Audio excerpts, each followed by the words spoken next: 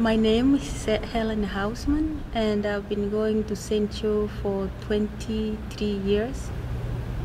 My firstborn went to school here. She now has graduated from St. Thomas uh, with graduate studies uh, degree and minoring in biology. My older son is now uh, going to Harvard, uh, doing uh, applied math and economics. My other son went here also in St. Joe and is now in Rosemount High School, a sophomore, playing football. And my daughter now is an eighth grader and soon to graduate and probably go to Rosemount High School also. St. Joseph was a warm place, uh, not just for climate.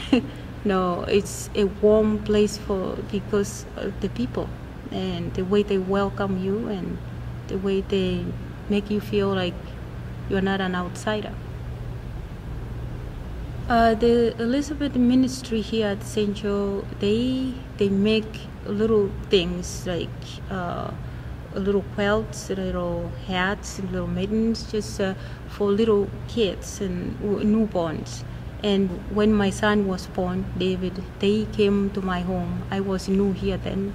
They welcomed my son with uh, with the little gifts. I was touched. I was like, oh my goodness, where did I come to? It's, I've never experienced such a love, such a reach out uh, from people who didn't even know me.